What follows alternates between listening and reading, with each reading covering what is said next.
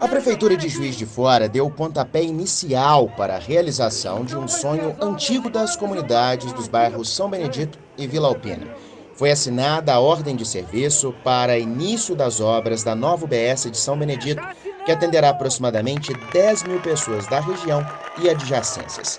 A nova unidade, com previsão de conclusão em 11 meses, é fruto de uma emenda parlamentar do então mandato de Margarida enquanto deputada federal feliz de estar aqui com muitas pessoas amigas, pessoas que me apoiaram em muitas das lutas que eu travei e que agora estão aqui junto conosco nessa noite de festa, que é muito importante que nós estejamos nesse momento dando a ordem de serviço para iniciar essa obra. Hoje é para celebrar mas nós vamos fazer uma festa de arromba é daqui a 11 meses, quando a gente estiver inaugurando essa obra. Parabenizar por essa iniciativa que é emenda parlamentar ainda da deputada Margarida, que hoje a Vila São Benedito está podendo colher esse fruto aí, fruto desse trabalho de muito empenho e determinação. Quero agradecer em primeira mão pra, de,